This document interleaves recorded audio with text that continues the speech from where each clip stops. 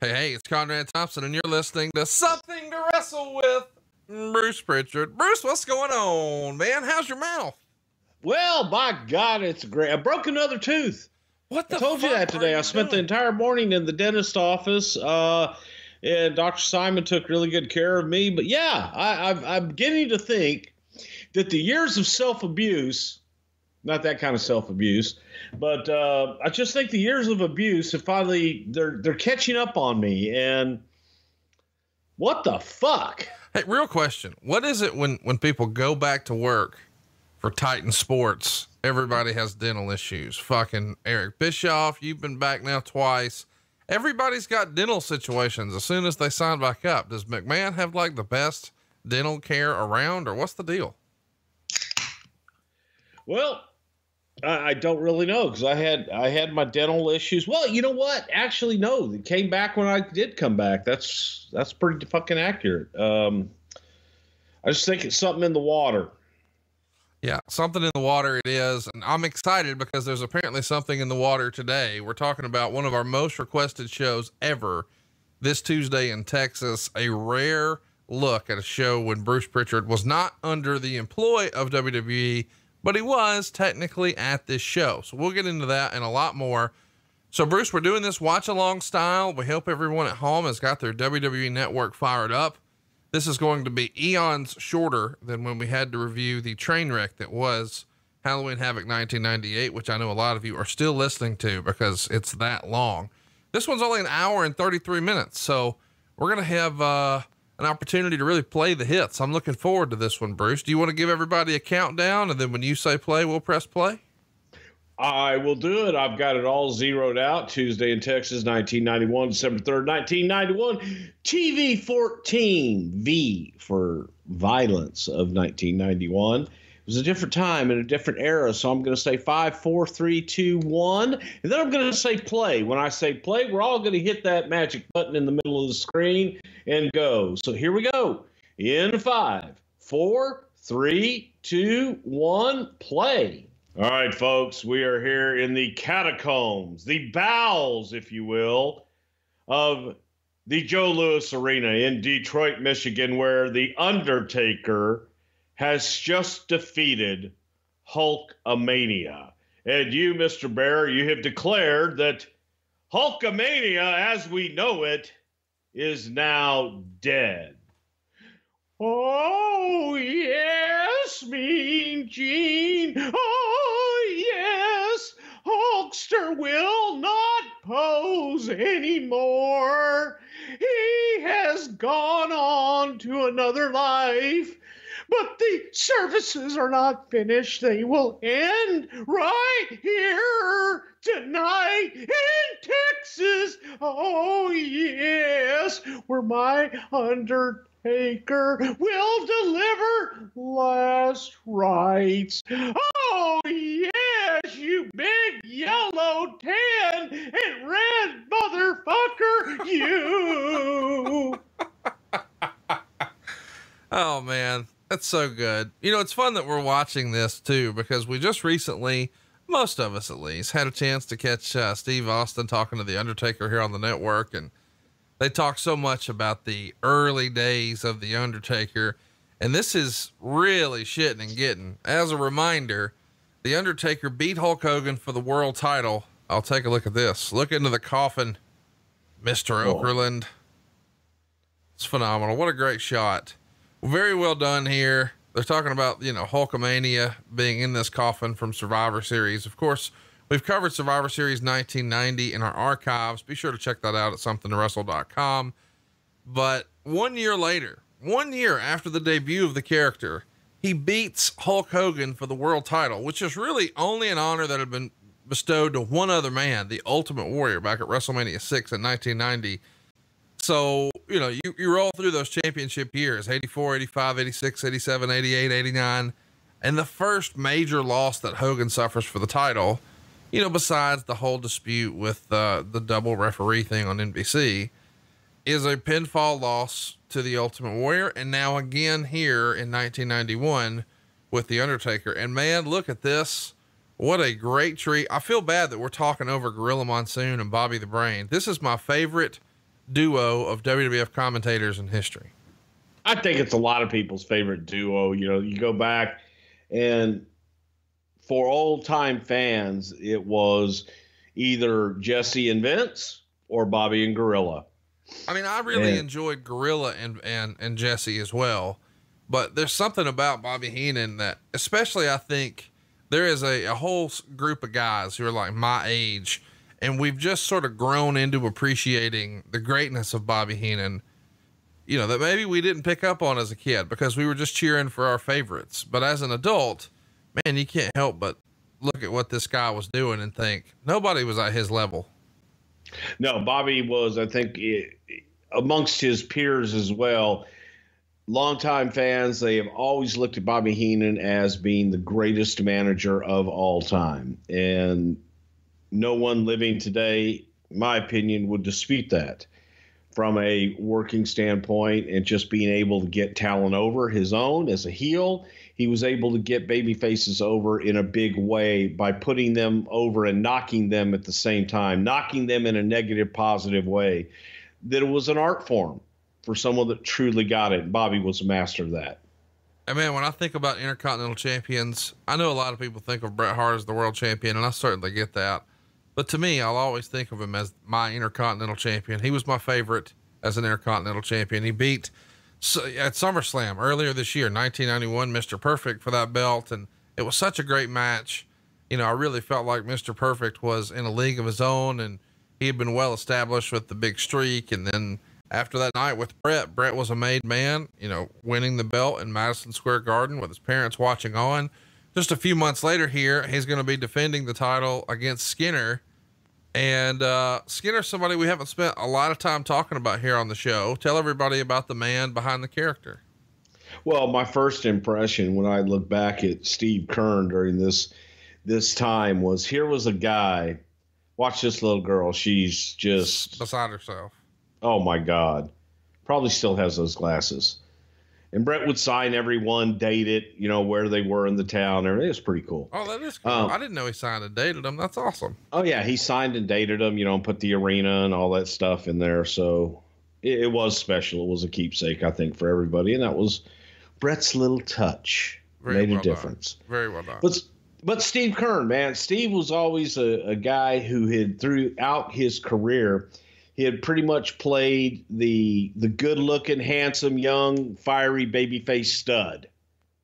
And to see Steve in this incarnation with the flannel and the big beard and and scruffy hair and chewing the tobacco was this is more true of the human being Steve Keirn uh, but the other the other incarnations that people had seen him throughout his career is one of the fabs with Stan Lane. You know, he would come to the ring in bow tie and top hat, and a sequin tuxedo top, and all the girls would go crazy, bleach blonde hair. And then to go into this incarnation, I thought was I just thought it was great because this was just closer to the human being Steve Keirn than any of the other ones. It's interesting that uh, you know, after, and I think that's been really probably looked over more than maybe it should have been, but this guy is a member of the fabulous ones. And if you don't, if you're a younger fan, you don't really know that name, or maybe you weren't a territory guy, go throw it in your Google machine, take a look at what that is, and then come back and remember, Hey, this is Skinner, which is just unbelievable. We should mention that, um, he started training wrestlers even back in the late eighties, even before, um, you know, he was finished wrestling. As he's wrestling Bret here, he's 40 years old. And by this point, he's already training guys. And he's he's responsible for helping train guys like uh, Mike Awesome, uh, Dennis Knight, who we know is, um, you know, a member of, of many factions, including the Godwinns. Most of us remember him as Phineas. Uh, Diamond Dallas Page trained with him, and Dustin Rhodes trained with him, and even Tracy Smothers but even the WWE looked to him. Uh, once upon a time, he was uh, a big part of Florida Championship Wrestling. I think he was. I mean, that was his school. That was his his whole shooting match, right? Yeah, Steve was definitely a big part of the developmental program early on, and the precursor to NXT and the Performance Center, Center what it is now. Um, started out as Florida Championship Wrestling with Steve at the helm. But Steve was just a tremendous worker and uh, good guy that when he met with Vince, you talk about these occupational gimmicks sometimes. This Skinner, Steve Keirn would go out and Steve would have the license to hunt gators in Florida. And certain times of the year, they would declare that you could hunt gators. And I think everybody could get two. And, and Steve would get people to get licenses and take them on a gator hunt. Now, if you had never been on a gator hunt, that's kind of a scary thing. I actually wanted to do it with him one time and just never got the chance to do it. But if they didn't want to kill the gator or not, they could at least be on the hunt. Steve would do it for them, and that would be just more either meat or hide uh, for Steve. Steve would give them one, and he would keep one. Um, but he just loved his gator hunting. I think that if if you were to get down to it and say, Steve, what do you want to do all day long? Um, you'd probably have one answer, and then the other one would be hunting gators. What What would the first one be? I'll wrestle. Oh, okay. Like blue chew what, what the hell did you What the hell did you think I was? Well, I thought since you were talking about how you'd abused your body, it may have been puff puff pass, and then I thought of our sponsors. No, We should Well, mention. you you probably should have thought of the sponsors first. yeah, well, they're, they're cracking down on me. They, they, they think I got a I little know. out of pocket on, on some of the language I was using on the Blue Chew ads. Well, we're we're cleaning it up a little bit. No, still this- works. that- still, No, yeah, listen, Blue Chew works like to the point where, well, I'll tell you a story off air, but a friend of ours is having a lot of fun. um, we should mention, as you said at the top of the show, December 3rd, 1991, Freeman Coliseum. We're in San Antonio, Texas. There's about 8,000 fans here.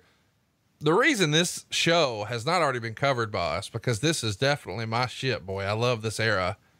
You weren't here for this. Now, technically, you're in the building, but this is when I think, I think Vince called this your hiatus. Is that right? Yes. This was uh, my first hiatus. Not fired, just on hiatus.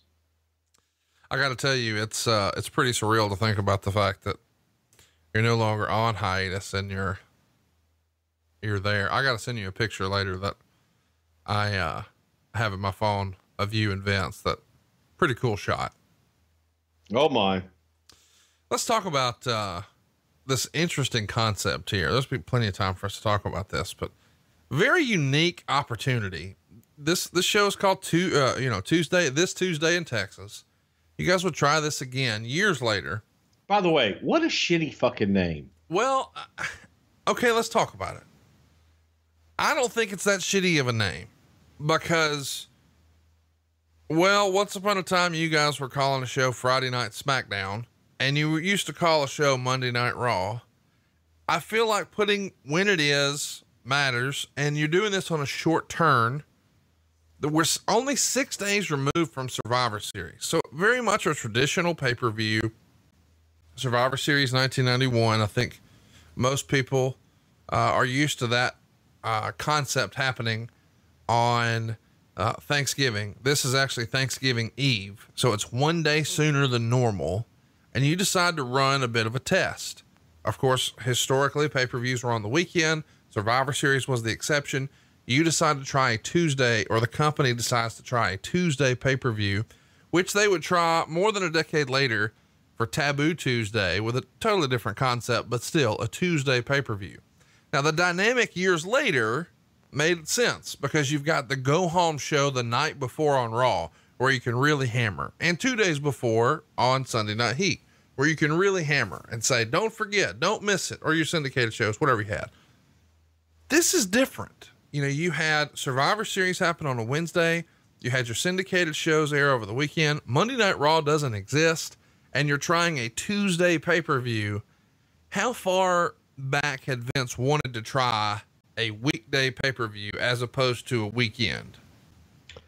I, I can't really answer that. I, I don't know. And I do know after the fact, kind of the philosophy behind it was experimental to try to do something off of the controversy of the one pay per view to go the next week, utilizing only your syndication shows to promote it on that Saturday and Sunday uh, all across the country, and to do a concentrated ad buy effort uh, within your cable properties in every place that you could to try and promote this Tuesday in Texas. And I, I was actually kind of joking about what a shitty fucking name. But as you stated, it was really a genius name because it just told you what was happening. And where hey, and folks, when, the whole deal. Everything. This Tuesday in Texas. And then all your subplot and everything else was underneath that. You know, Hulk Hogan tries to avenge losing the WWF championship. Um, but but again, in the promos that weekend, normally you've got a three month build or a four month build where you'd say, at the Survivor Series, dude. There's more of a runway for that. On a short runway like this, in every promo, it was this Tuesday in Texas. I mean, it told right. you fucking no, no, not a month from now, not three weeks from now. Don't mark your calendar, motherfucker. It's this Tuesday in Texas. It's great. It's urgent. You got, you know, and I think just the by doing it that way that you felt, oh my God, I've got to see this. I can't miss it. It's this Tuesday. There's an urgency to it. And um, I really, you know, I don't know how well it did reality wise, but at the same time, it was interesting experiment. And I think it had done probably if it had done really well, they would have done more of them. Right. There's your answer. So it, it was that, that's your answer. Yeah. Well, and you know, listen, in those in those days, it's always hard to sort of pin down a number. We will talk about, you know, what the buy rate was, but the the concept is definitely interesting, and and I think it's cool, you know, that they were willing to step out and try something. And as a kid, I absolutely loved it. Now, did uh, Pop Pop buy this for you? Larry Thompson? Oh, yeah. Not Pop Pop. Not by you know, Pop Pop was there. Yeah, Pop um, Pop Pop Pop's here. This is back yeah. when he was still showing up to events. Um, yep. but no, he, he, uh, my dad definitely bought this for me because I was a little Hulkamaniac that's been well established on the show. I could not believe the goddamn Undertaker beat him. You know, we finally got the Ultimate Warrior out of the way, but now this new monster's here. We got to get rid of him. So I did not miss it. And there'll be lots to talk about with that. I think the backstory with our main event is just phenomenal. By the way, the match that we're watching now, uh, Dave Meltzer would write in his Observer, is uh, a decent opener, and he gave it two and a quarter star. He would critique the match by saying it started out kind of slow since Skinner is pretty well past washed up, but Bret carried it to a decent match with a lot of near falls towards the end before Skinner took a bump off the top rope and submitted to the sharpshooter, which they're definitely establishing as a real finishing maneuver. You know, God damn, they're having a hell of a match. No, no, I agree. I, I just think you know Meltzer has his favorites, and for whatever reason, he thinks that when any wrestler turned forty, they were old, except for Ric Flair, and then when he was phenomenal at 40, or Ishimashi, Koshi, Zuwa, Fujiwara, Snavis Chase is I, the case. I just think it's fascinating that you know the way we perceive age in wrestling has changed so much. You know, like once upon a time you know, it was, oh, he's 40, he's, an, he's elderly.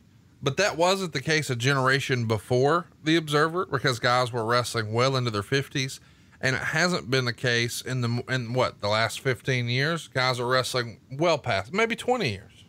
Absolutely. And I think that that just, you know, is a testament to the caliber of athlete that is competing that they've been able to go that long. And, and the money, God, you know, to, the, the, to think is, at 40, he's washed up. Right. Mm. You know, now's the time where everybody wants me to remind you how old AJ Styles is, but you already know he's 42. He's a kid. No, I'm not arguing that. I'm just saying the idea that we're saying Skinner's passed up and he's literally two years younger than AJ is now. And everybody's like, well, AJ is one of the, you know, best wrestlers of all time. And I'm not arguing that. I'm not arguing that. AJ's in his prime. He's young. You know, Daniel Bryan is 38 years old. And in two years, that dude ain't washed up. Come on. Yeah, he was washed up about five years ago. Shut up. oh yeah, you say that, every time say- I every time I look at him, I, I just think back to when he was just that fresh faced kid in in San Antonio training at Shawn Michaels school. he's just God. He's so good. Hey, legitimately, I know we're talking about Daniel Bryan now, and we're not supposed to talk about current stuff, but I, I had this discussion on social media recently. Bell to bell, take all the creative stuff out, take character stuff out, just bell to bell in ring wrestling. Daniel Bryan's got to be top five ever, right? He's great. Yeah, he definitely is. I mean, you know, I'd, I'd put him in the top ten. Yes. Either way, I mean, I know you're you're older than me and you have a different purview. I mean, I didn't see a lot of the stuff that you saw. I didn't see Jack Brisco. I didn't see Dory Funk. I mean, I didn't want to, you know, go to sleep. So I, I saw some Terry Funk, and I and, but I saw. Oh, so you just Terry- kept watching the same match of Ric Flair over and over and over again? No, that's not true. Oh, there you go. sure. There's your No, sure you did. It was he's just just different opponents. Okay.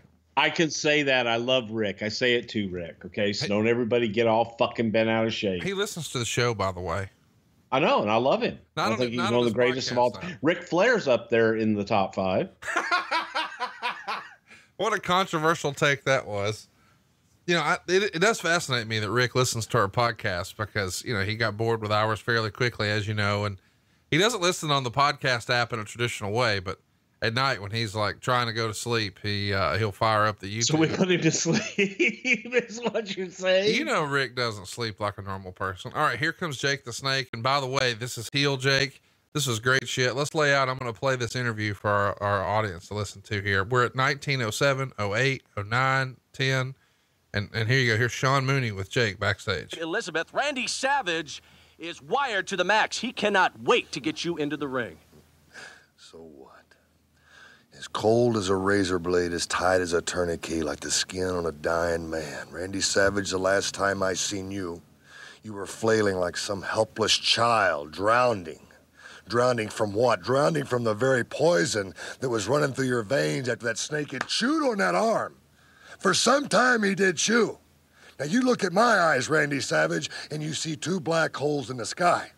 But you look at that snake eyes and you'll see something so cold and so devilish and so deliberate. Yes, he takes care of what he has to, does what he has to, just like me. Your eyes, your eyes weren't even there, man. You were out, you were gone. But you know whose eyes I enjoyed the most? Do you?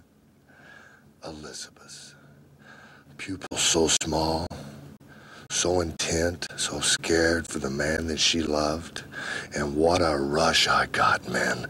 Up and down my back, it felt so good. My hair felt like it was tingling. I mean, I had goosebumps all over my body listening to you squeal for a man that could not do anything but flail around. Couldn't help himself at all, you know. And see the thing about Jack Tunney barring the snake from the corner. Let me tell you something, Jack Tunney.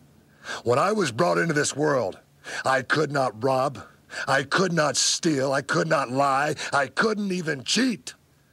But boy, did I have some help learning. You have taught me so well.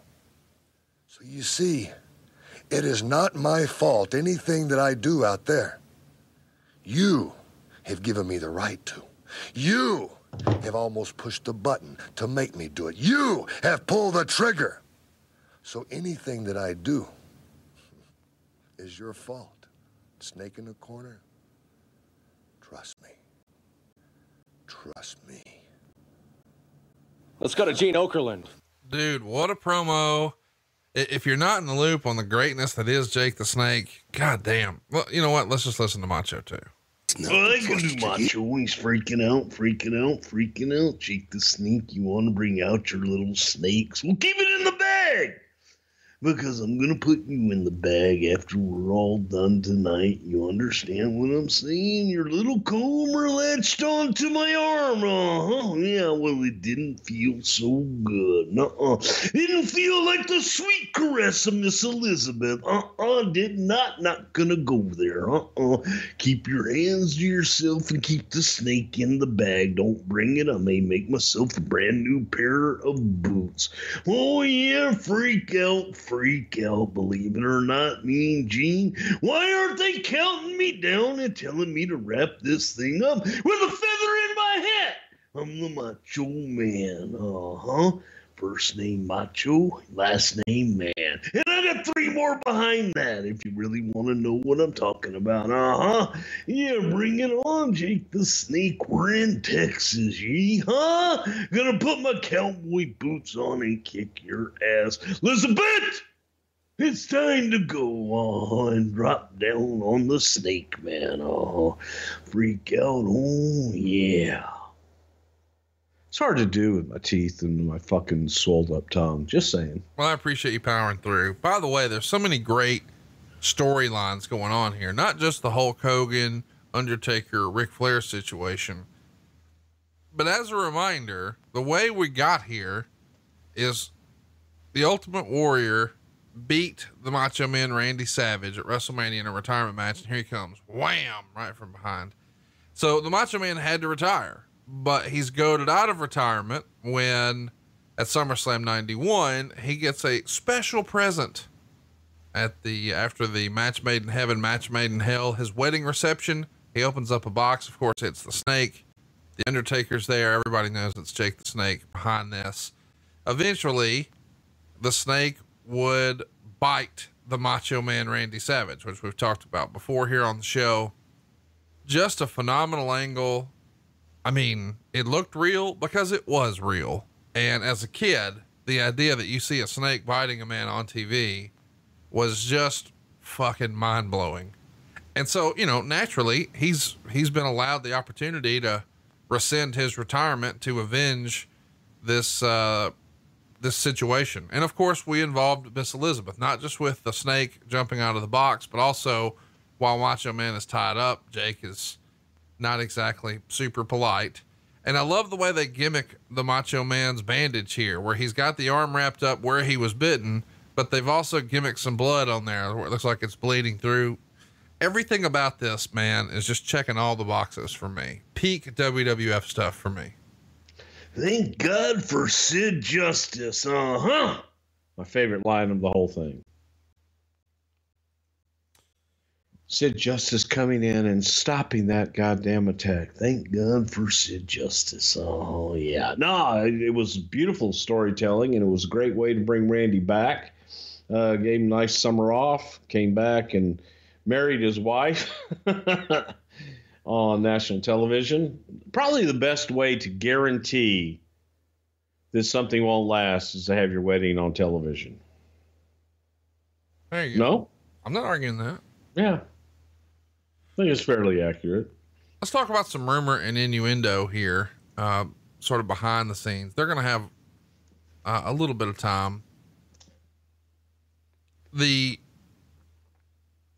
the situation with their real life relationship, the Macho Man, of course, and, and Miss Elizabeth. It's been said that by the time they got married on TV, it was already a little rocky in real life. Would you think that's true? Um, God, you know, I I don't know. I would say, from my experience with them, and during the summer, during that summer after WrestleMania uh, seven, and after I got fired, I drove down. We spent time with them at their home, and everything seemed good. I, I was with them the night in Madison Square Garden when they renewed their vows and did the whole marriage and everything. And from an outsider, my vantage point from being friends with them outside and not being in the bubble, uh, seemed to be normal. Um, so I don't know. I, I, I, don't really know. I don't know if that's revisionist theories and history, if you will. Uh, but at the time, I didn't get that feeling. Let's talk about um, the Macho Man's look here. Most longtime fans are, are, are thinking of the Macho Man with with the boots and the small trunks and the big robe. Here he's wearing long tights and he's wearing a shirt with sort of the fringe arms and he's got a jacket and a cowboy hat. He's totally changed up his look here. Conspiracy theorists would say, well, this coincides with the same time that the WWF was implementing a steroid policy for the first time. I've always thought, nah, this is just Randy wanting to switch it up and sort of reinvent himself. What say you? Randy always loved to reinvent himself, and Randy, uh, when Randy went from being the Macho Man Randy Savage to the Macho King, completely reinvented the way that he dressed, the whole nine yards, and that's when he first started introducing a lot of this look. He had this designer Michael in Florida who designed a lot of this stuff, and he wanted to change up what he was doing. So this was Randy just constantly not wanting to be stale and wanting to reinvent himself and be different, not just be be able to substitute one picture from five years ago for what he's doing today. It's kind of his theory. He always wanted to be new, and it's it's the old uh, Memphis. You know, that's kind of that Memphis attitude, Tennessee, because those guys sold their own gimmicks. Right. So they would sit out at the picture table and they would sell four by six pictures for a dollar. Well, the same people bought the shit every week. Sure. They had to constantly keep taking new pictures and change up something uh, so that those same people come back and buy new pictures and get them autographed. And really, what they're looking for is the interaction with the star. I mean, it didn't matter what they were selling; they just wanted to buy it from them. Right. Exactly. But if you have something new to offer them, then a large segment of the audience is going to want that new. They want to have, okay, great, I have what's old. Now, what you have that is, quote, old is now a collector's item. Dude, watching old Jake the Snake is just so fun for me. The short arm clothesline, and you see him working on the hurt arm of the Macho Man and peeling at the bandage and you know, Macho's sort of going along with it, but the minute he Jake punches him in the quote unquote wound, Macho just loses his mind and attacks him. They're telling a great story here. Meltzer would say, you know, that the match um, itself was only average, but the post match was pretty memorable. And we're going to see that in a minute. He gives the whole thing three stars, saying that it was two stars based on the match, but the extra stars for the post match thing. And he even says, and this is quite a compliment from a pretty notoriously negative towards the WWF Dave Meltzer in this era. He says, um, This was just about the most dramatic angle I've ever seen. Most angles in wrestling are usually rushed through, so the needed drama isn't there. Uh, if anything, this went on for too long. Lord knows they needed something big to get Roberts over as a main event heel draw. They did something big, but whether or not it works is another story. But what we're going to see in the post match here is really tremendous. And, you know, I mean, look at the, look at the crowd. They're on their feet. They're ready for this. That there is, this has that old, what's the old Johnny Valentine? I can't make you believe wrestling's real, but you'll believe I'm real. Damn right. And that, that's what this reeks of. It reeks of, okay, you know, Cena and Bret Hart was a good wrestling match, but man, this is a fight. These guys really hate each other and you, you, didn't have to be sold that very much. Here you see they're trying to uh, stop the Macho Man from using a chair against Jake. Oh Roberts. my God! I'm not going to take a bump, Tony Garea. I'll sit down on my butt. There's enough padding there. Take the bell. Throw the young guys down. My God. Was that Yeaton? The last one was Yeaton. By the way, first the guy, one was Tony Garea. I got that, but the guy who was the bellkeeper, uh, the timekeeper, who was just pushed down, is the guy who used to throw Stone Cold his beers, just so everybody understands how long that dude was here. And look at this, bam, DDT out of nowhere. So, in an effort to keep the Macho Man for, from injuring Jake the Snake Roberts with a weapon, what they accidentally do is set up the Macho Man for a perfect DDT. And look at the fans; everybody's on their feet.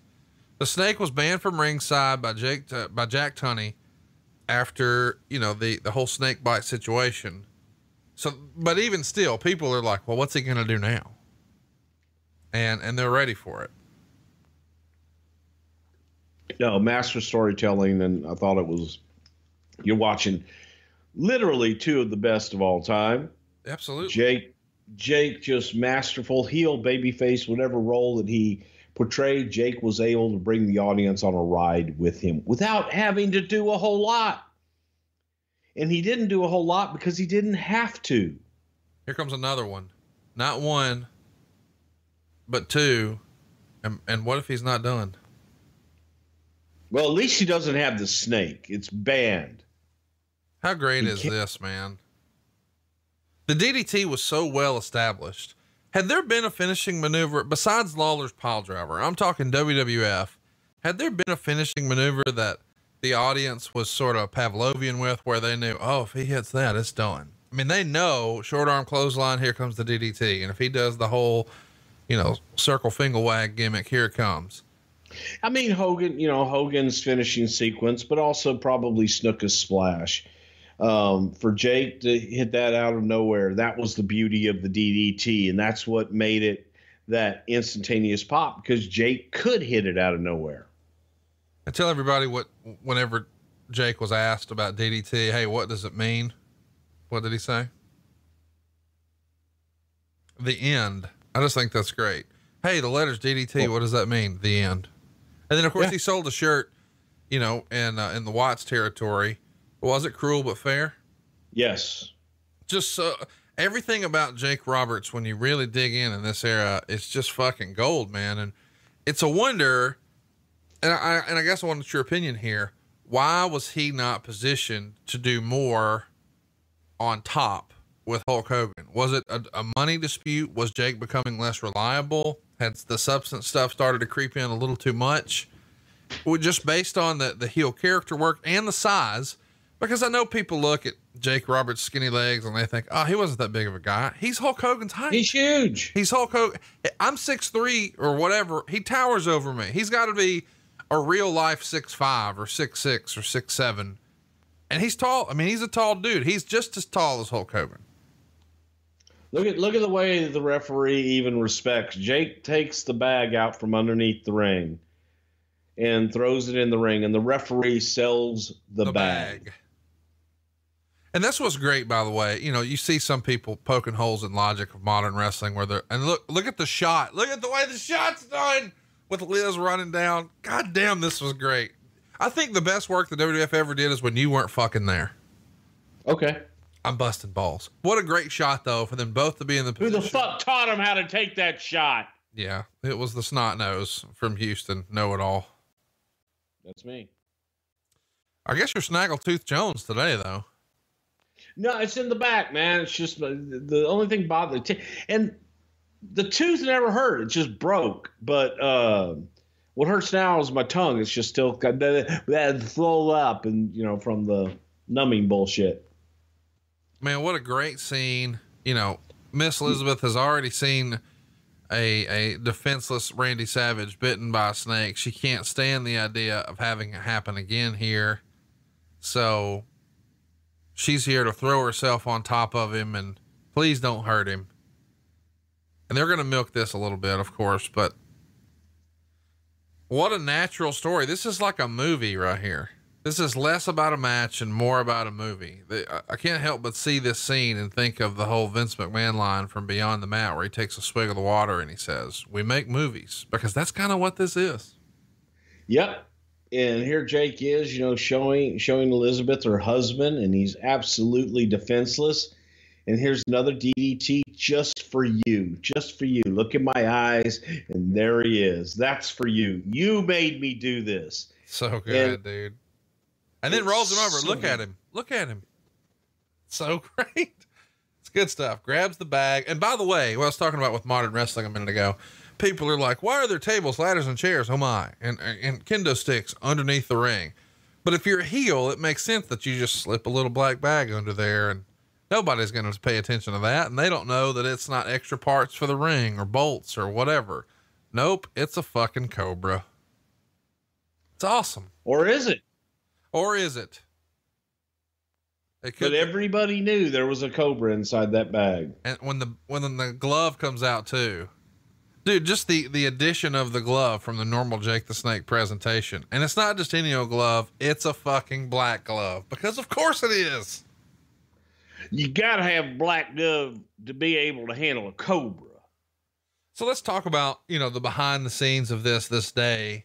Um, this is in San Antonio, so you're going to ride by and visit friends. I guess at this point you're already working with the Global Wrestling Federation, you want to call it that. No, I wasn't. I was completely unemployed at this point. and you're trying to just come feel it out or visit friends or just take the temperature or Shit, I met Vince the first night. Vince and Pat, we went to Whataburger in Corpus Christi.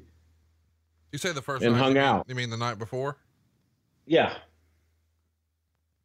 And so yeah, we just kind of you know hung out. I went down to see friends and uh, begged for a job, kind of like Jake is telling Elizabeth right now. Beg me, beg me, beg me not to do any more. And you can hear all of it. By the and way, now he picks Jake her up by actually putting his hands on Liz, which had never been done before. No, watch the crowd. But people are covering their mouth, and he slaps her. And look, look, look at everybody in the background. Oh yeah, the guy in the blue jacket, he's ready to go. Now, again, this that part doesn't age well. No one should slap a woman. That's not cool.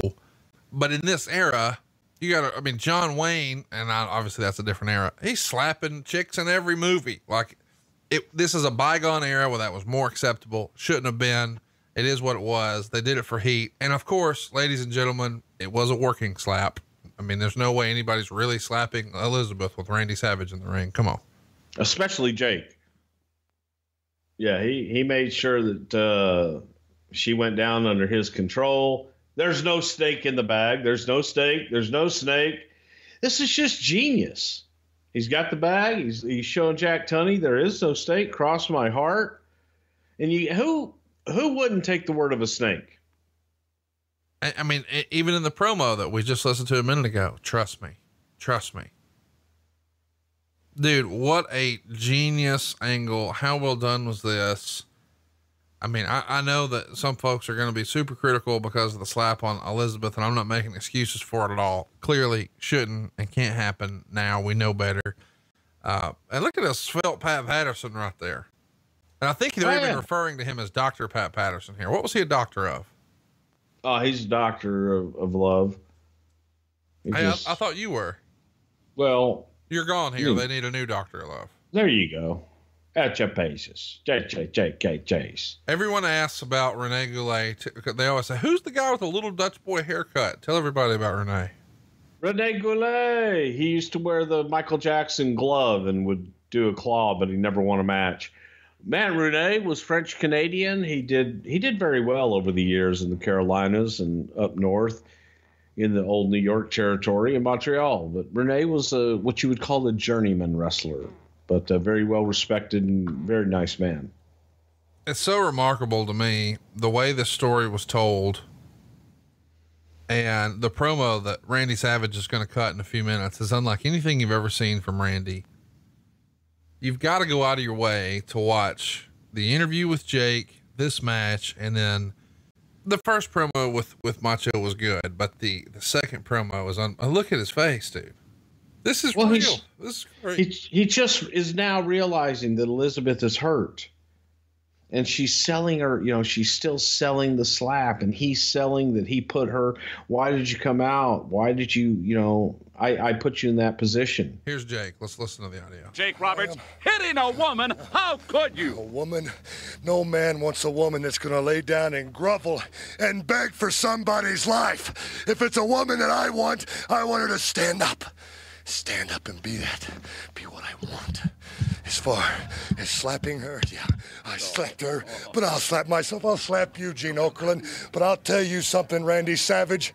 DDT and you was fine. That really felt good. But the best feeling I've ever had in my life is when I grabbed a hold of your woman's hair, man, and jerked her up off of her knees. Huh?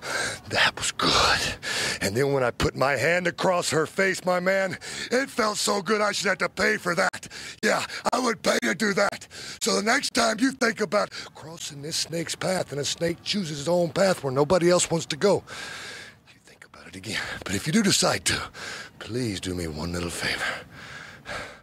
I'm begging you. Please bring her back. Let me touch her again. Oh, get out of here, please, ah, Roberts. I can cultivate her into something that even I could Oh, want. please. Huh? I could do that. Trust me. Trust me.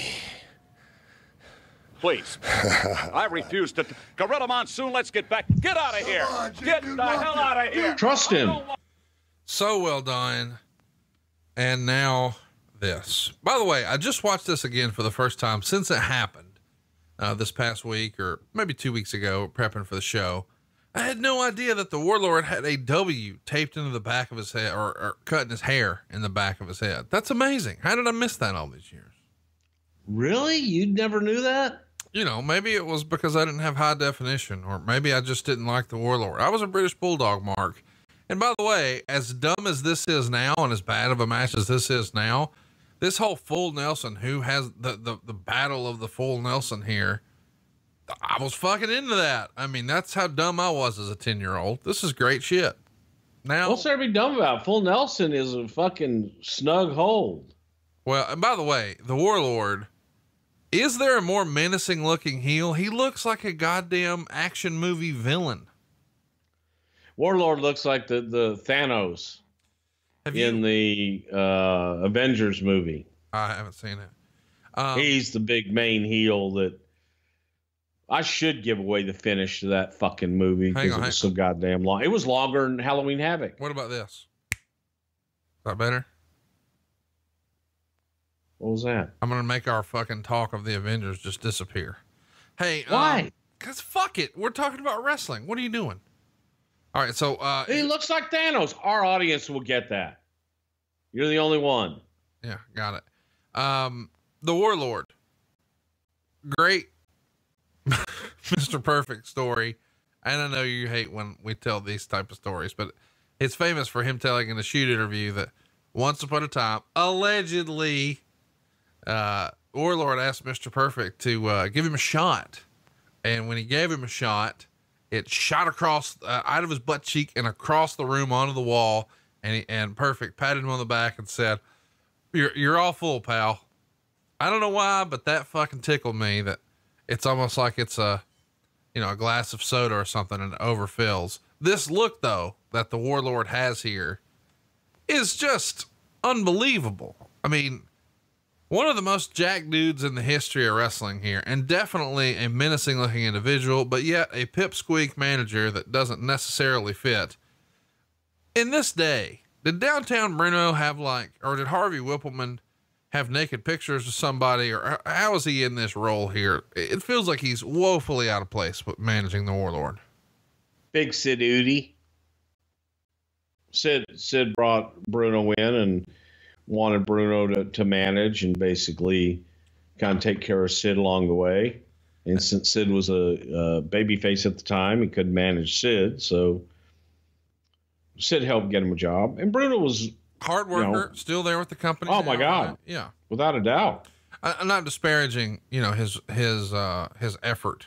By the way, when you take a look at Bruno on the outside, he's a big Memphis guy, of course. Sid Eudy being from the part of Arkansas that's just right over the bridge from Memphis, so he grew up as uh, a Memphis guy. He's going to do the Fargo strut here in a minute, and it's a very particular style strut. And I didn't catch it as a kid because, of course, I didn't know what the fuck a Fargo strut was.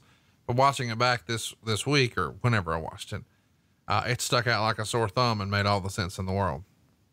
By the way, unfortunately, that great, we've seen two really good matches.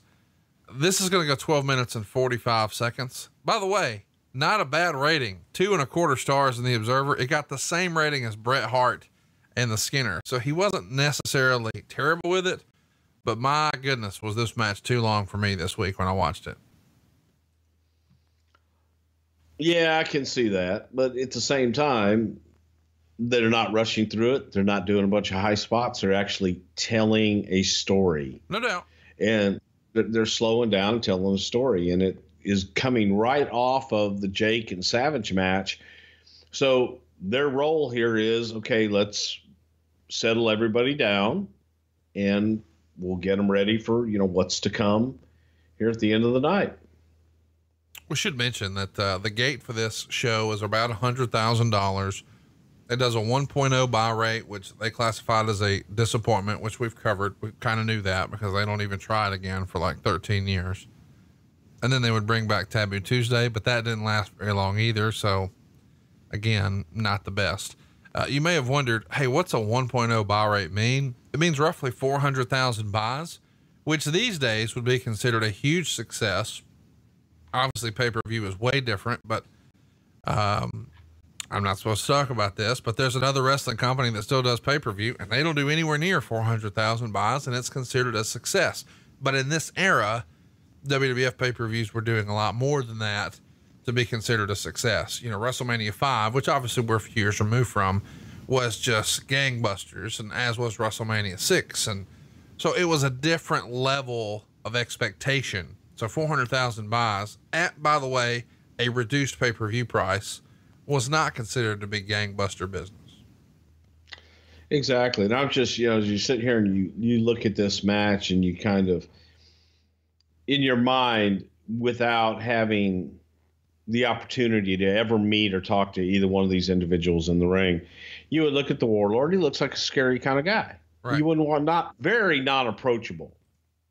However, you know, of the of the two in the ring, Warlord was just the nicest guy that you'd ever want to just hang out with and talk to. Very soft spoken, kind, respectful. Um, just one of those, you know, kind of quiet guys that, hello, hey, how are you doing? Oh, hey, what's going on? I saw a really cute dog the other day. Um, just, just a sweetheart of a, of but, a human look, being. Pay attention to what we're seeing here, though. A bear hug. Now, again, different era of wrestling. It's a big man spot, but they're literally just standing in the middle of the ring, and Bulldog is going to wiggle his arms around trying to get the fans into it. I feel like, and again, I don't know shit about wrestling, but putting such an emotional angle. All right, you got Bret Hart out there. That's a hot match. He's doing a lot of, you know, fast paced stuff, technical stuff. It's a good wrestling match. You follow it with this big emotional angle. It feels like a big adrenaline dump I've heard you use the phrase. Is this what Vince would have called a let me up match? Sure, it is, but at the same time, it had story. So it was a completely different style. And let's throwing ex- Liz in, you had the emotion that just kind of took that over the top between Jake and Savage. So yeah, this is this is something to let's bring everything back. Let's settle everybody down and the next two matches are designed just for that, so that the last match is going to have the impact that they were looking for. This is a rematch from WrestleMania. Um, so th- this is well established now for months and months. They've they've talked about it on TV, you've seen it on house shows. Uh, so yeah, this does have some story to it. The whole idea of, you know, let me up really didn't click for me until maybe five years ago when I heard uh, our great close personal friend Michael P.S. Hayes on a podcast with Steve Austin, and he was talking about a match and the way to tell a match and to tell a story that you make fans, you know, who are seated stand up and then sit back down and stand up and sit back down and stand up and sit back down and putting them on this emotional roller coaster through the course of a match and when I really heard somebody explain that for the first time, one of the next matches I saw live was Kevin Owens right after his debut with John Cena. And I really had an appreciation for why people called John Cena Big Match John. Because you go back and you watch that, and there were so many moments that were up, down, up, down, up, down, up, down. I found myself sure enjoying the match, but I was also watching the crowd, and I could see the way they were doing exactly what Hayes said made a great match up, down, up, down, up, down and I really I don't know that I understood sort of the let me up match until I understood that you can't do that every single match. You've got to have matches where you could just say, "Oh, fuck, that was that was a roller coaster." I just I need a break. I need an adrenaline dump here for a minute. Well, the the entire show is a roller coaster. Hopefully, if it, if it's good and you want to take people on an emotional roller coaster ride, not just in each individual match, but throughout the body of a show, whether it be a three hour show, a two hour show, or a marathon pay per view. You, you hope that you're going to give your audience a chance to kind of regroup a little bit and settle down and get their beer and their popcorn and be ready for for the next one but you still you still want to enjoy what's on the screen and you still want to be invested maybe not as much as the bigger matches, but it's just you, yeah, you, you're letting them up. You're letting them breathe because you can't. you know, there is an analogy sometimes when you look at, you can look at every any and everything, and I liken everything to sex, and it's kind of like you can just put your dick in and come for two hours, or you can take them on a ride, and you can take them out to dinner, and you can hopefully go in for a kiss and then maybe you can cuddle on the couch and you can start making out and you can have a little foreplay and then you have sex and then you reach a climax. You know what's versus, funny is, is i've only heard one other person in wrestling talk like that and compare it to sex and it was jake the snake roberts. And you know i know that's not sort of pc to talk about and make comparisons to now but I do think it's a fair analogy. And, and even when I was young in my sales career, I'll never forget, man, where I was. I was in a sales meeting. I was probably seven, uh, maybe I was 18. I was very, very young in my sales career. And this sales trainer came in from another part of the country. And, you know, everybody's like, oh my gosh, this guy knows everything. I mean, he's had all this success. And he made the exact same analogy you did, except he talked about when you were going for the close. And in sales, going for the close is is like, you know, building to a finish in a match.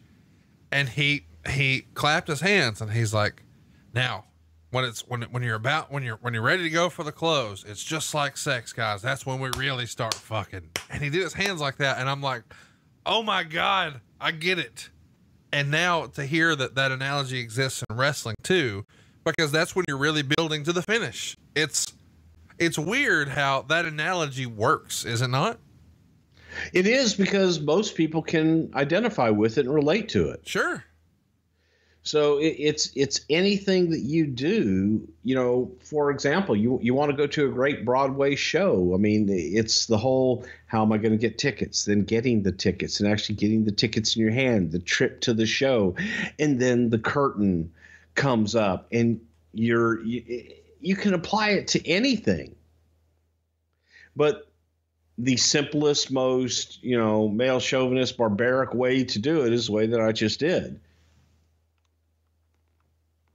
Yeah. I mean, and, and again, that's, you know, not PC talk and not something we can talk about outside this podcast, but fuck it. We give you guys the real shit here.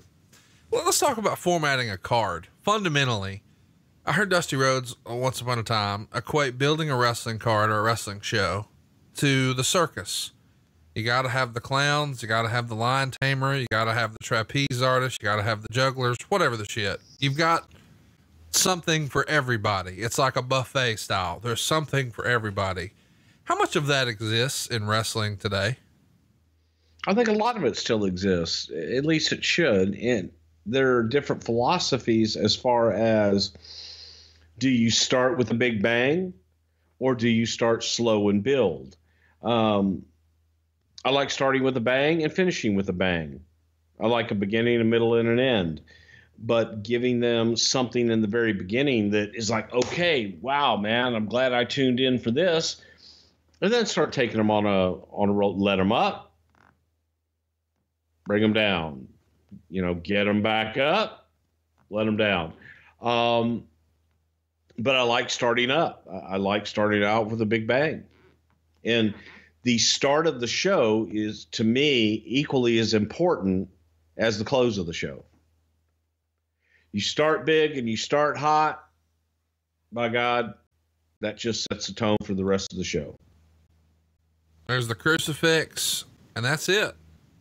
And by the way, the crucifix as a finish, the first time I remember seeing it, again, I'm 10 years old. I really thought British Bulldog invented that because I don't remember seeing that anywhere else. I know now he didn't, but that that finish, that crucifix. I did finish, right after I invented the headlock. Again, a crucifix I think is just underrated.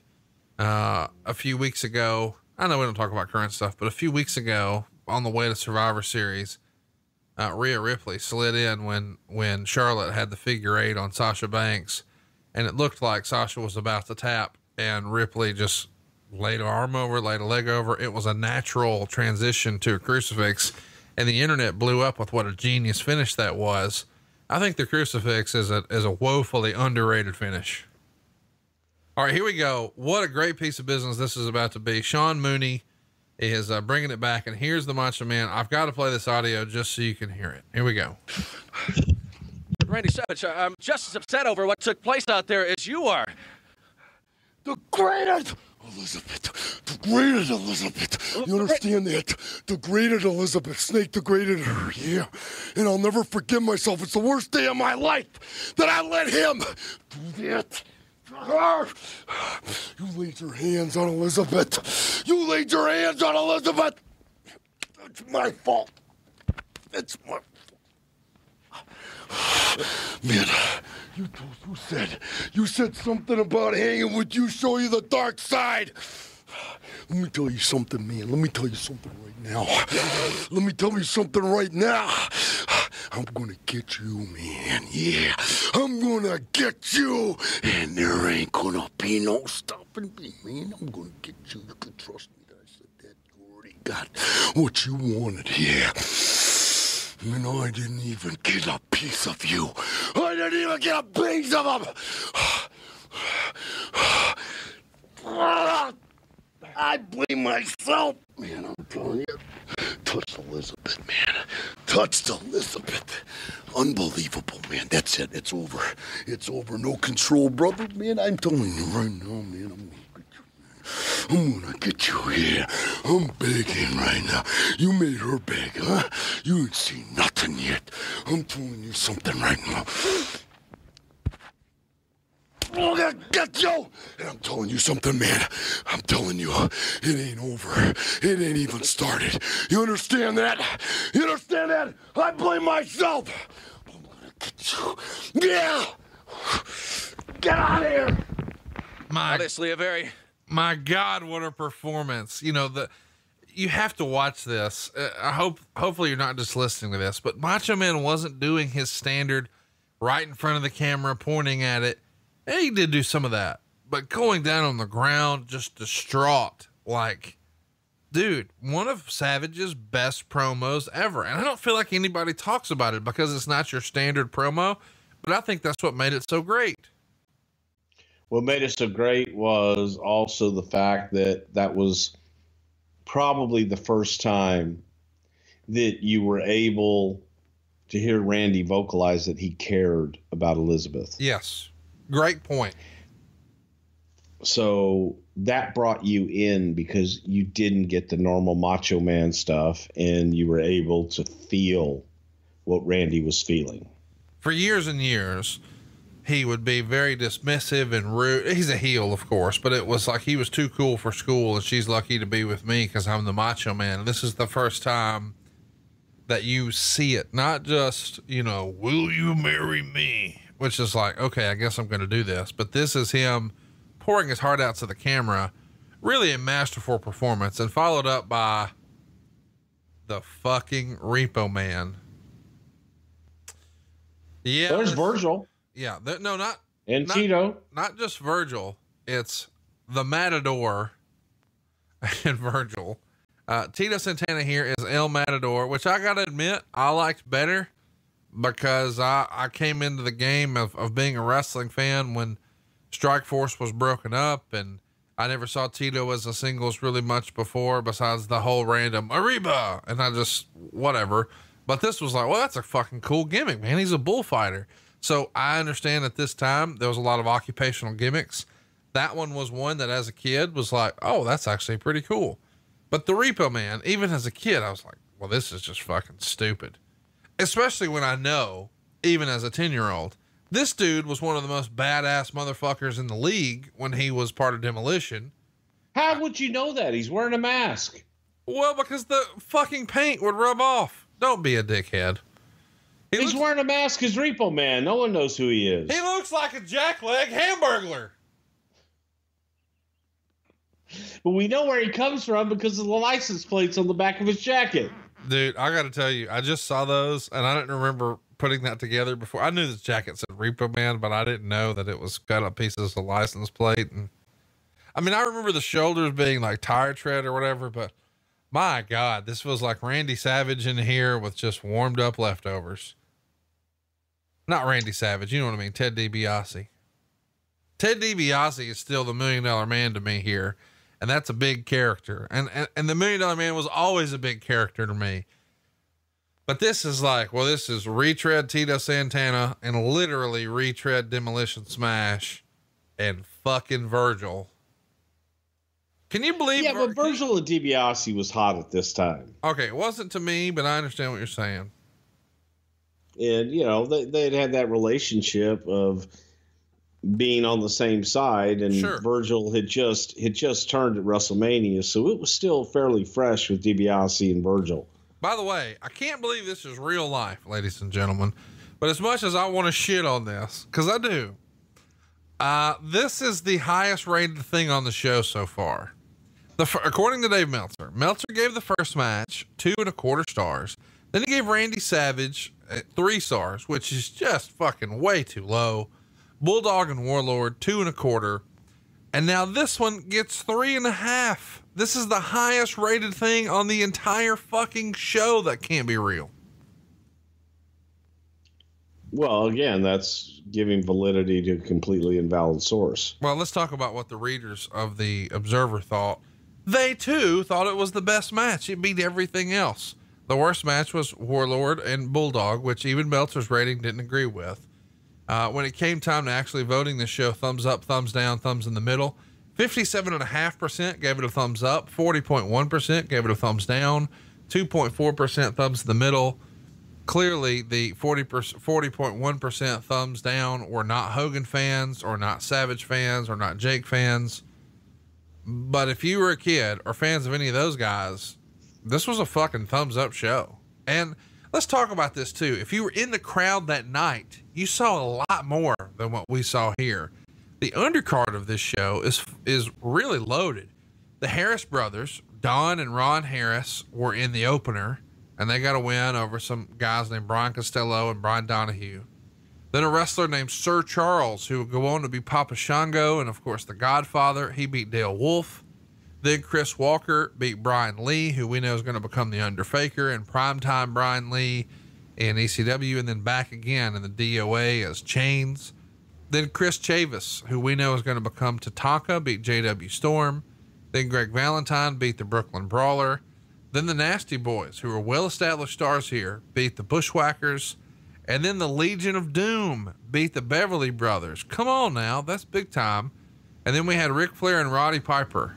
That's right, Ric Flair and Roddy Piper wrestled on this card, but it was dark. It's for the house only. And I understand in this era you couldn't give away everything on pay per view, but man, I would have been great with just sliding Repo and Ted DiBiase out of here and let's slide in Flair and, and Piper. That would have been badass. Yeah, but it was only an hour and a half show, and it was one of those It's experimental deals. Let's let's experiment with the shorter show. I, I'm sure it was a cheaper price. Absolutely. You know, normally you had pay per views, you know, in this era were, uh, you know, 1995 to 29.95. Occasionally you see a 24.95. This one is a reduced price, uh, similar to what you guys would do, you know, what four years later within your house. So this is sort of the precursor for in your house and very much experimental because it's on another day. And because it's on another day, and you got to keep this in mind, you don't want to keep people up as late because they've got work and they've got school the next day. And in this era, a lot of your WWF pay per views were afternoon shows. They didn't start super late like they do now, where it's become more commonplace and acceptable for them to be later. Man, DiBiase was just a fucking worker and a half. He's got to be on everybody's short list for best wrestler to never have a, a world title run. Wouldn't you agree? Because he didn't need it. No, I, And I and, and, and here, when you sit there and watch this, everything that Virgil is doing, this is the painting is being painted. The artist in there is Ted DiBiase. Of course. I mean, he is the he is the master artiste of the of the crew. I, I want to ask you about something. You and I haven't haven't talked about this. You know, since you're working 21 hours a day, we don't get to talk as much as we used to, maybe. But I did a podcast with Arn Anderson recently, and he talked about when he came over to the WWF in 1988. He was used to sort of the Jim Crockett style of working, and that came up because I asked what was the difference between working in front of a JCP crowd and a WWF crowd. And he said in JCP, we tried to get everybody over. We tried to, eh, the NWA, we tried to get everybody over. We tried to make everything competitive, make our opponents look like a million bucks no matter what. And Barry Darsow, of course, had been in that that style of wrestling when he was in the NWA and Jim Crockett Promotions. Of course, he played a Russian character, but then when he comes to the WWF, he hits it big as Demolition Smash. And man, that was not the case. So even though Darsow was real life, really good friends with Marty Lunde, aka Arn Anderson, when he gets up there, the Brainbusters find themselves working uh, with Paul Roma and Jim Powers, and Tully Blanchard and Arn Anderson did what they did Jim Crockett Promotions, and they gave those guys a lot and made a very competitive match and made it look great. And it was a very good match. But when he comes through the curtain, Darsow pulls him aside and says, What the fuck are you doing? You don't do that here.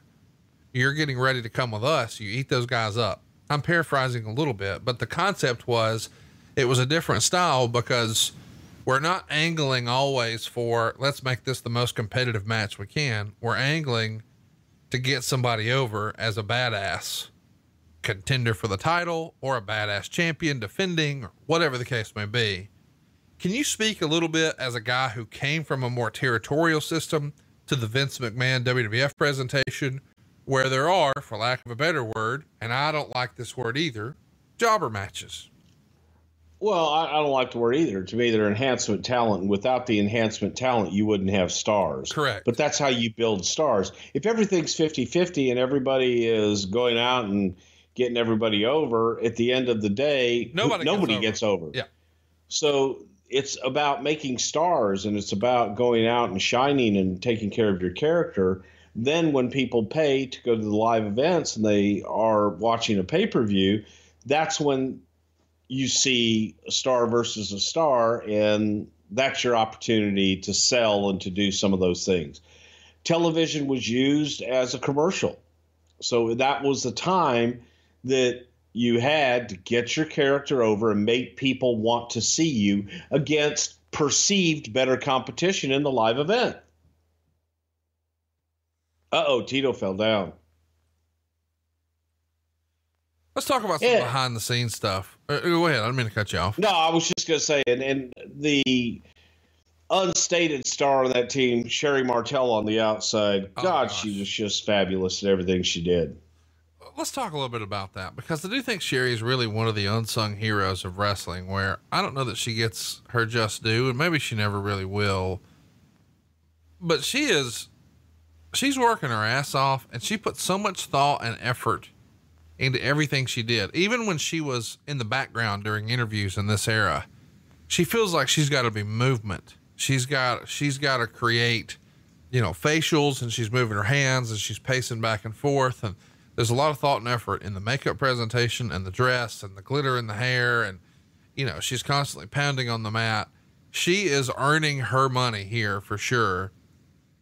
I just find that to be fascinating because I feel like a lot of times some of the best managers were wrestlers before. You know, we've talked about the fact that Bobby Heenan was a wrestler before he was there, and and you know, obviously there are exceptions to that. Uh, Jim Cornette comes to mind, but Sherri is is the female equivalent, maybe, of a Bobby Heenan.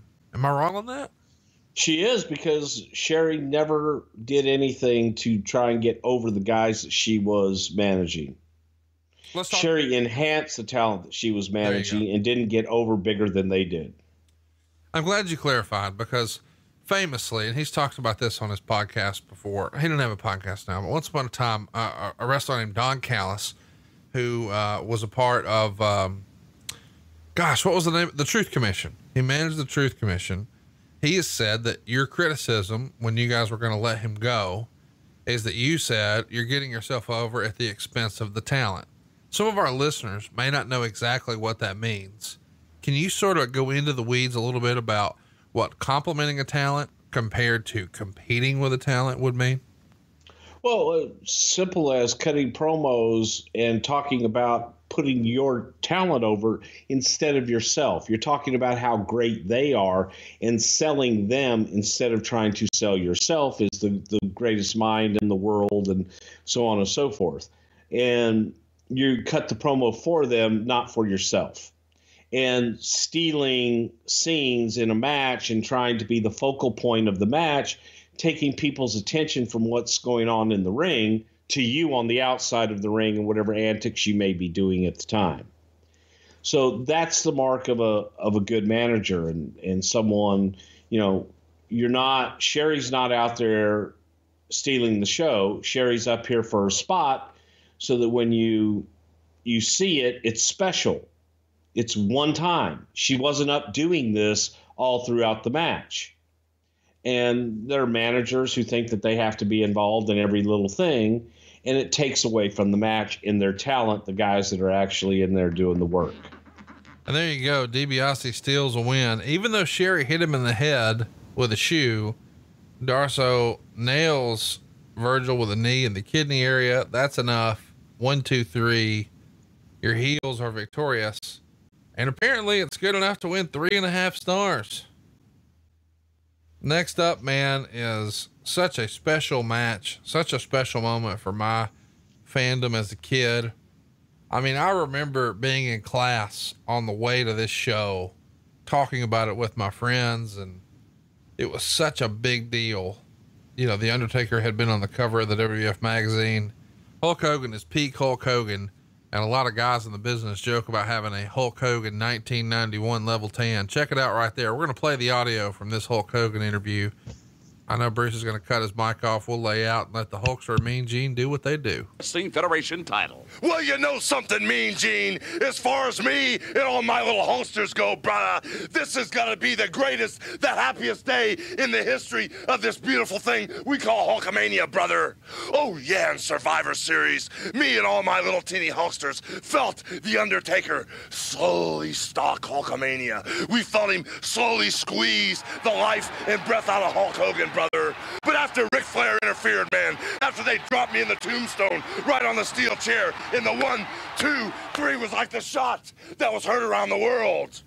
The real survivors were all those little teeny Hulkamaniacs out there, brother, that as they saw Hulk Hogan wrenching in pain on that canvas in the center of the ring, the real survivors were the little teeny Hulksters that still had their heads high, brother, that still had smiles on their faces and still believed in the four commandments of the training, the prayers, the vitamins, and believing in ourselves. And because we believe in ourselves, Jack Tunney took recognition immediately and rebooked this match Tuesday in Texas, brothers, with Jack Tunney watching our back, Hulkamaniacs. Ric Flair, stay out of my face. It's between me and The Undertaker.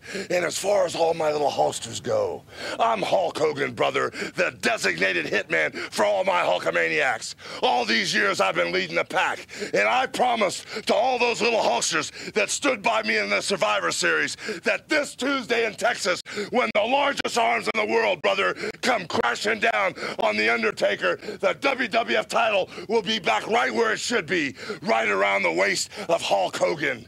And Undertaker, what you gonna do when Hulk Hogan buries you right here in Texas? Yeah, yeah, yeah. All right, let's get. My God, what a promo. And what a way to end it. Yeah, yeah, yeah. Great stuff.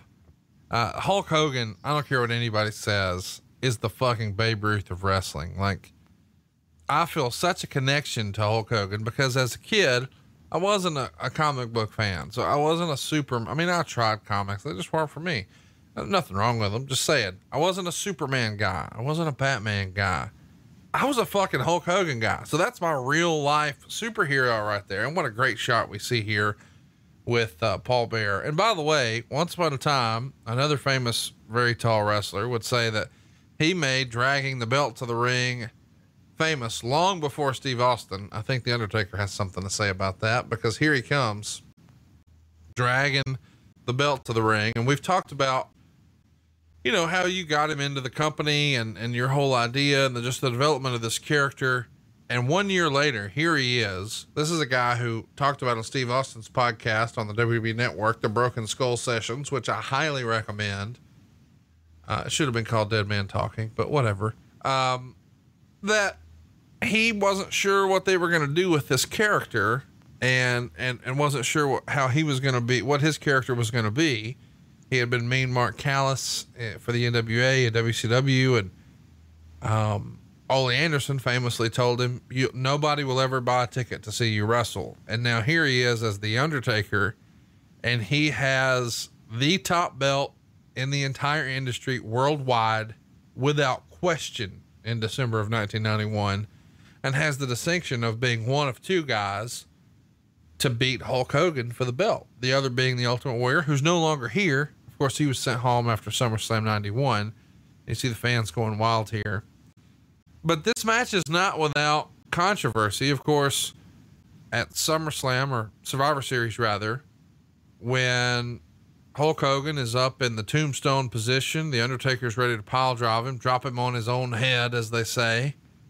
Ric Flair sneaks in, slides a folding chair underneath, and, and it makes that pile driver even more devastating. Not just a regular tombstone, but a tombstone on a chair. And I can't believe this is real, but uh, Dave Meltzer actually wrote about this in The Observer and said Flair then put a chair in the ring, and Undertaker gave to, uh, Hogan a tombstone pile driver on the chair for the pin. When watching the show, I thought the best work of the entire show was Hogan selling the tombstone after the match was over. It took him several minutes to get to his feet, and he looked really groggy, and his selling was completely realistic. As it turns out, he was really injured, apparently by the tombstone on the chair. After viewing it back several times, it does appear that Hogan's head never came near the chair However, Undertaker may have jammed Hogan's neck with his knee since Hogan was hospitalized legit all night long with a jammed neck. Yeah. I think, and I could be wrong, but I believe the rumor and innuendo is that The Undertaker, being a relatively young guy in the business and really excited and proud to have this opportunity just one year in the company after being told a year prior you'd never sell a ticket in the business he flew his whole family to Survivor Series to see this big pay per view, to see this big match against Hulk Hogan, because he knew the creative. Oh my God, I'm beating Hulk Hogan on pay per view for the World Wrestling Federation title. And there's a little bit of a stink on the title win because afterwards, Hogan legitimately, allegedly, feigns an injury and goes to the hospital. And when you watch the replay back to Meltzer's point, He's nowhere near the chair. But Hogan that night convinced everyone no, he's legitimately hurt and went to the hospital. And it sort of put a stink on the title win of the big proud moment for the real life Mark Calaway. And I don't know that Ho- that Hogan and Undertaker ever really saw eye to eye ever again, according to the rumor and innuendo. You you weren't there, but you you were around both of these guys for a long time. Tell me what you heard about Survivor Series 91 and what you remember about this match in particular with maybe that being the underlying heat between the two.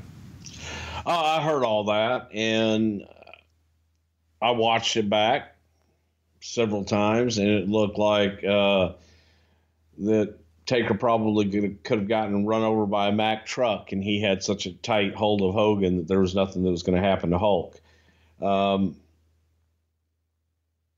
it, is what it is, and it couldn't have looked safer. Is the point? And when you go yeah, to me, yeah, and and to Taker, and I think that it was, I think that knowing Taker, he would never ever intentionally hurt anybody, and certainly he was going to be extra careful that night with the Hulk Hogan, goose. The and golden goose. you know, it looked good to me. By the way, look at the tremendous work of The Undertaker here, doing the choke and rolling his eyes back into his head. If you haven't yet, I can't believe I'm advocating this because I wanted so desperately at Starcast to have you get drag these stories out of The Undertaker. It wasn't to be, but the the Broken Skull session, which I can't put over enough. When you're done with this, go watch that on the W Network. It's phenomenal. Undertaker talked about how when he became this Undertaker character, he had to sort of change the way he thought about wrestling. What he could do and what he should do became two different things. Yes, he can run the ropes real fast and jump real high for clotheslines, but would The Undertaker do that? And you really saw The Undertaker as a character and Mark Calaway as a performer doing The Undertaker come into his own in this first year because you see how slow and methodical and almost – Michael Myers and Jason, you know, the, the real horror movie film franchises, you see how slow he's working. You go back and watch him as Mean Mark Callous, totally different presentation. He's clicking on all cylinders here, is he not? Absolutely, and it that just goes to to the talent of Mark and just how good he really was that he was able to adapt. And we took all of the things that he did extraordinarily well and we would incorporate them into the match at the right point. Suddenly. So he would work very methodically and slow, but when it was time, just like in a movie, he's on you. Exactly. And he would turn it up and you'd go, Holy fuck, where did that come from? That's what made him so dangerous, and that's what made him so appealing to the audience. This is such a phenomenal, you know, pay per view to me because it, I was at maybe the peak of my fandom here from a WWF standpoint because I couldn't believe somebody finally beat Hulk Hogan. Um, in real life, and I know I'm probably putting you in a spot here to betray some confidence as a peek behind the curtain, but that's the format of the show. Do you believe The Undertaker had some animosity to Hulk Hogan for a certain period of time? Maybe not today, but once Yeah, definitely. Yeah, I think he did. I think that, you know, in, in his, to him, this was the biggest moment of his career. And, and, um, I think that, yes, he did. So the Undertaker's contention is that Hogan wasn't really hurt and he was quote unquote working and shitting on his big moment. I mean, do you believe that? I don't. I uh, see. I don't think that Hulk was shitting on his moment. I just think that you know whatever happened happened. And again, not being there, I've never talked to Hulk about it, so I, I don't know. Um, That's the thing. Like, I don't want to believe that about Hulk because I mean, you've talked about this before with other interesting polarizing characters in wrestling. I tend to treat people the way they treat me, and he's always been. And I'm talking about the. I mean, Hulk Hogan. So cool to me. I can't imagine that he would be intentionally shitty to anyone. Right. I understand that in the course of business, sometimes business is business, pal. Goddamn, I get it. Whatever.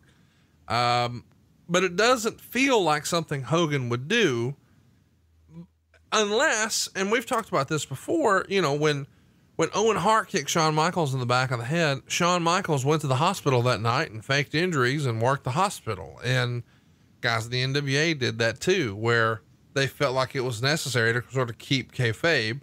So on the one hand, maybe you think, well, Hogan's just trying to keep kayfabe and really sell the angle that the only way Hulkamania could really get beat is if he legitimately injured him. But really, the worst or maybe one of the worst, one of the two worst things that a wrestler can do is earn a reputation as being dangerous, as someone who's not going to take care of you, someone who will hurt you. And and and to have a little bit of that stink on the Undertaker character just one year in, not good, right? Yeah, and I don't believe that that there was. I really and truly don't believe that anybody thought that he was dangerous in any way, shape, or form. Did you ever hear uh, again? Nobody told me this. I'm just asking questions to my friend. Did you hear of Vince admonishing the Undertaker after the match? Or I mean, was he cutting a promo on him? Like, how could you? God damn it! You've killed the golden goose or whatever in real life. No, conversation not, like no. that happen. Nope. Okay. Nope, not at all. And I think that they they watched it. Best of my knowledge, that they watched it back and went, okay, let's go find out what happened. But um, I don't think that anybody anybody thought that Taker was dangerous by any stretch of the imagination. We should mention that uh, Meltzer was freestyling in the newsletter that Del Wilkes was probably going to wind up coming here. Um, do you remember you were at least friendly with Del? Do you remember Del being discussed as a, as a possibility of coming in here? Because we wouldn't see him here for what, like six years?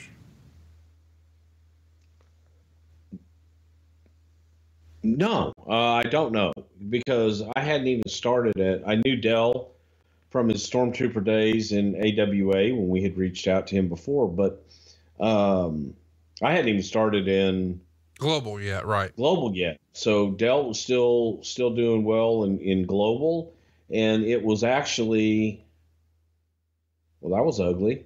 Um, it was actually at it was this evening um, in Texas that I got the phone call from Paul Heyman telling me that Eddie Gilbert was taking the book in Global and wanted to bring me in after the first of the year. Do you immediately run to Vince and say, by the way, I just got an offer to do this. Do you want to hire me now? No, he had already told me I wasn't coming back. Uh, that sucks. Owen Hart's going to come in in January. Uh, he'll be teaming with uh, Jim Neidhart, according to the Observer.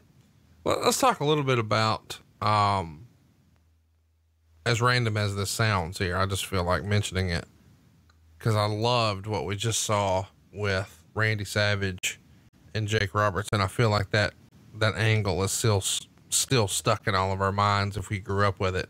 One month after this, the Rockers split up on the barbershop. There was, man, the WWF's best shit happened when you weren't there. You raggedy rat soup eating motherfucker. Yeah, I suck. Hey, so let's talk about um, the the Kevin Von Erich situation. I don't know that you were plugged into any of this, but I can't help but ask. He has a tryout match while you guys are on. Well, while the company's on this loop here in Texas.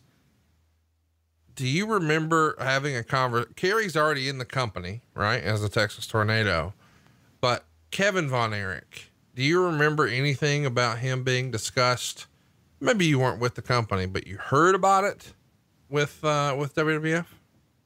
No, I mean, through the years, there have been different times they talked about Kevin, but I don't think ever that it ever got serious.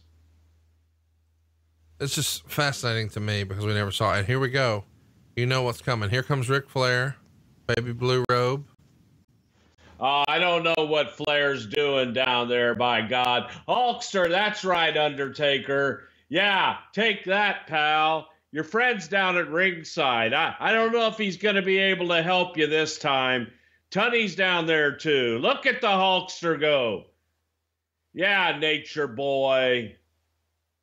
Interestingly enough, one of the only robes that Flair had that said Nature Boy quite like that.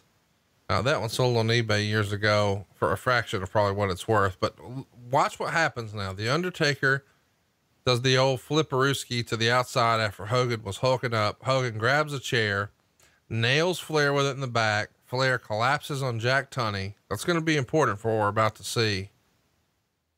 This is uncharacteristic of what the, the typical Hogan, Hogan Hulk up because we had a bit of a pause, a running forearm, some extra stuff in here from what you would normally get in a Hogan Hulk up.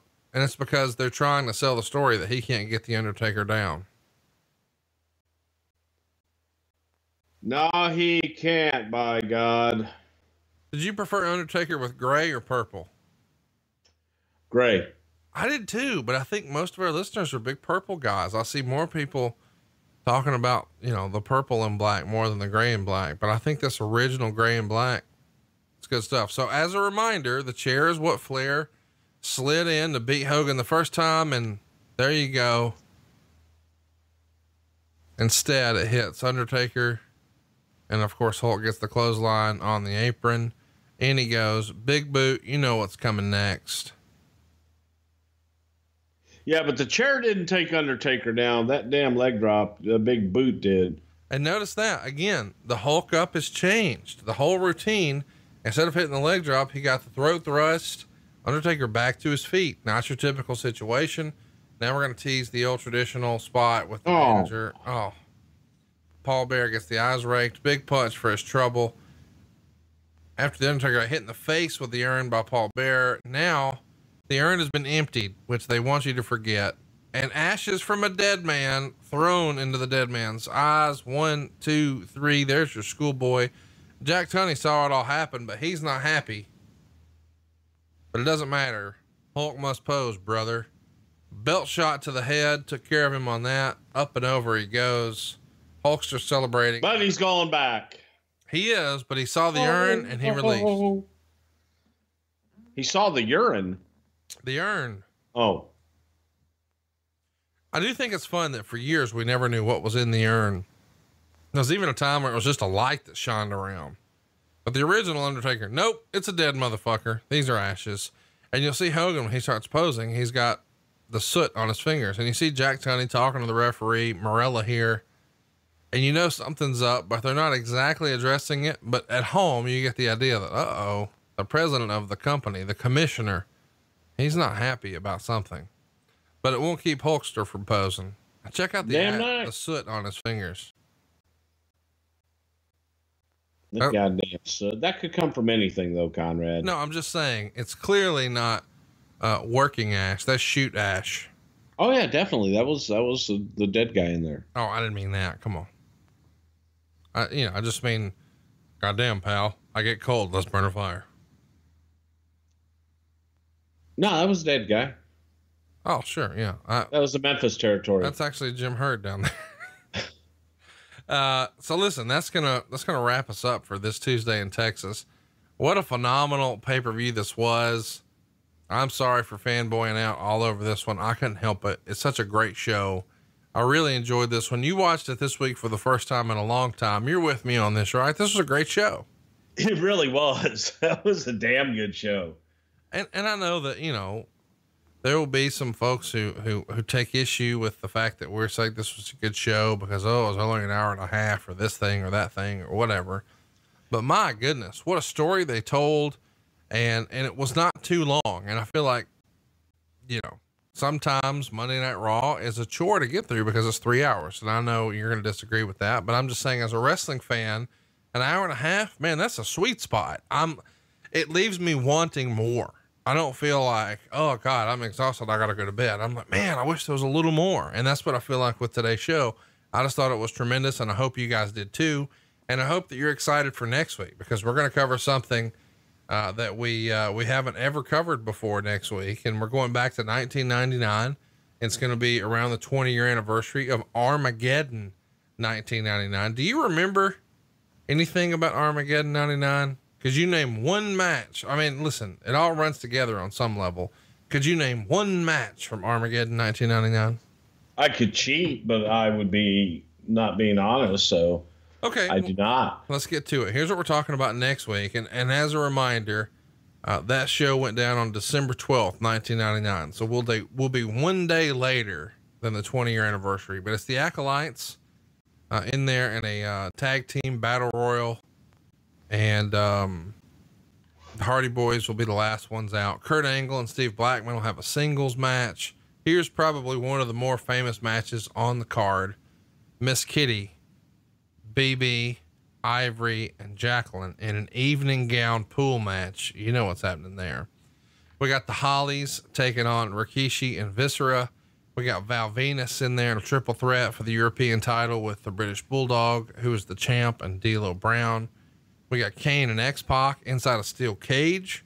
We got a singles match with Jericho and Chyna, which I know we've talked about. We've got the Rock and Sock Connection taking on the New Age Outlaws. We've got Big Show and the Big Boss Man for the WWF title. And then a no holds barred match in the main event. Two of your great close personal friends, Triple H and Mr. McMahon.